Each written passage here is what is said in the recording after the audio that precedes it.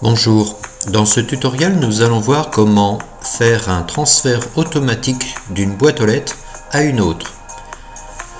Pour cela nous allons transférer les mails académiques vers une boîte aux lettres personnelle. Pour cela nous devons d'abord nous connecter sur l'intranet. Une fois sur l'intranet et identifié, vous cliquez sur cette petite enveloppe qui vous donne accès au webmail, c'est-à-dire à votre courriel professionnel en ligne.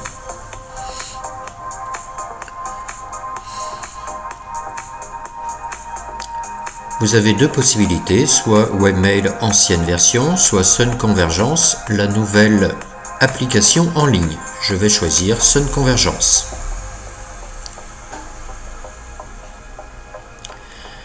Vous cliquez ensuite ici dans Options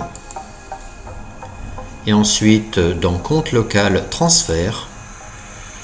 Il suffit ensuite de cocher activer le transfert automatique et d'indiquer vers quelle adresse vous souhaitez par exemple rediriger vos courriels.